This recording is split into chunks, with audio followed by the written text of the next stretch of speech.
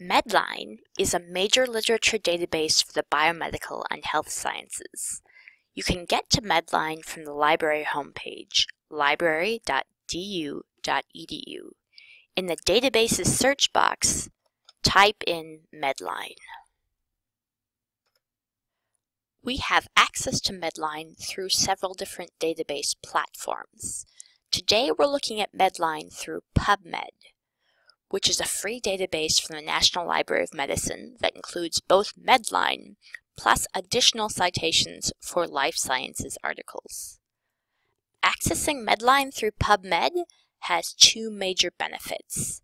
Number one, it's free, and you'll still be able to search this interface after you graduate. And two, it contains extra tools such as the Clinical Queries Search Interface, designed for busy clinicians who are specifically interested in clinical studies that focus on therapy or diagnosis, systematic reviews, or medical genetics. Let's start by searching for the protein malate dehydrogenase. Putting the name in quotation marks forces the database to search these two words as a phrase. The first two things to note about our results are how many results we got, over 10,000, and how these results are sorted by date. You can see it's sorted by most recent right here. If you prefer to sort by relevance, you can sort by best match right here. Since we haven't given PubMed a very specific search term yet, I'm going to leave it sorted by date.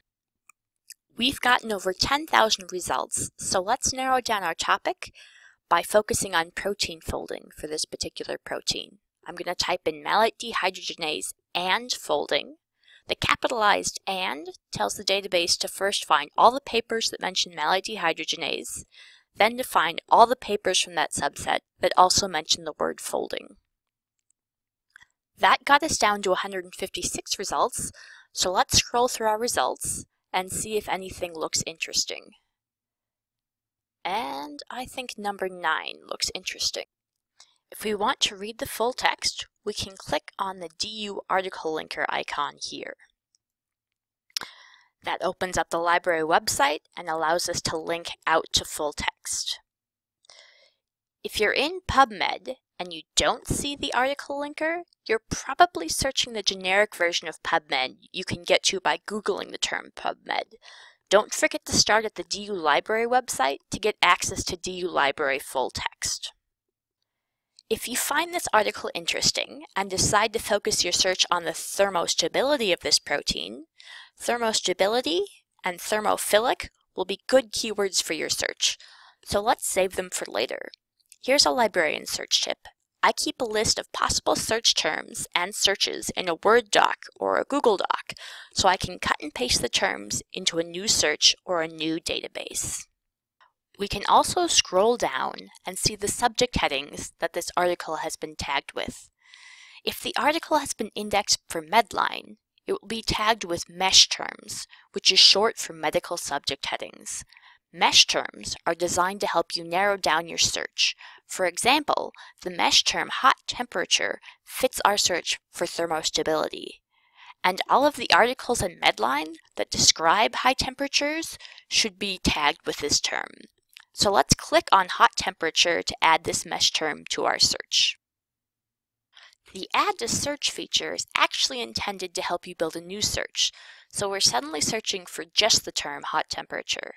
And this is another reason why keeping your search terms in a Word document comes in handy, just in case the database ever eats your search. Let's add all of our search terms related to high temperature together with the word OR. The OR tells the database that we'll accept articles that include either word. Then we put parentheses around that to tell the database which words the OR applies to. I'm also going to replace the last few letters in thermostability with an asterisk. The asterisk tells the database we want all of the words that start with thermostab, thermostable, thermostability, etc. Finally, let's add the name of our protein back into our search. And here we have our new and improved search ready to be deployed in PubMed. Our new search gives us 260 results, which is a nice size set to work with.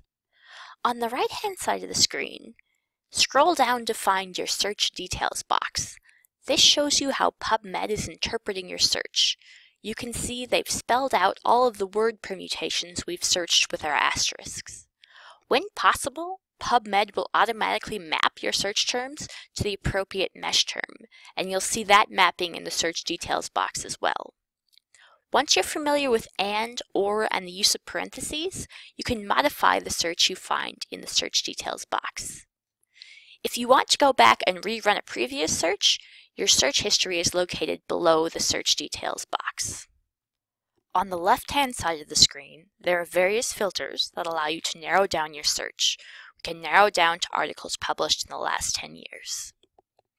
Under Show Additional Filters, I personally find the sex and age filters helpful for clinical studies. Note that clicking Show Here doesn't add this option to our search.